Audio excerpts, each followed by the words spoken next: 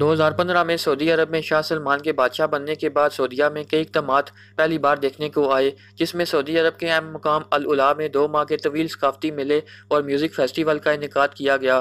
سعودی عرب میں سن دو ہزار اٹھارہ میں، جہاں پر سعودی خواتین نے پہلی بار ڈرائیونگ سیٹ سنبھالی، وہیں پر پینتیس سال بعد گزشتہ برس سینما ہال بھی سعودیہ میں کھول دیا گیا، جبکہ سعودی عرب میں پہلی بار فیشن ویک کا اہتمام بھی کیا گیا۔ اسی طرح سعودی عرب کے جنوب مغرب میں واقع اہم ترین مقام العلا میں پہلی بار بیس دسمبر سن دو ہزار اٹھارہ سے لے کر نو فروری دو ہزار انیس تک دو ماہ تک طویل جاری رہنے والے موسیقی کے میلے کا انعقاد کیا گیا۔ الولا شہر کی انتظامیہ نے موسیقی کے اس میلے کا انعقاد ایسے مقام پر کیا جو تقریباً پانچ ہزار سال کی تاریخ رکھتے ہیں۔ ثقافتی میلے کی آفیشیل ویب سائٹ کے مطابق یہ میلہ الولا کے تاریخی مقام مدائم سالے سمیت دیگر کئی مقامات پر ہوا۔ اگرچہ اس مقام کی تاریخ بہت پرانی ہے، تاہم سب سے زیادہ اہمیت کا حامل مقام مدائن سالے ہے، جس کا ذکر آسمانی صحیفوں اور کتب میں بھی ملتا ہے۔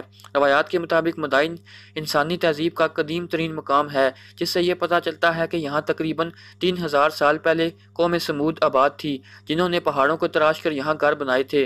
اور اس مقام پر اس قوم کی تعمیرات کے کھنڈرات بھی ملتے ہیں۔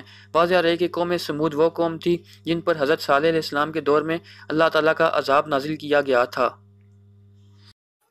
مزید نئی ویڈیوز کے لیے ہمارا چینل سبسکرائب کرنا نہ بھولیں۔ ویڈیو دیکھنے کا شکریہ۔ تھینکس فار واچنگ اللہ حافظ۔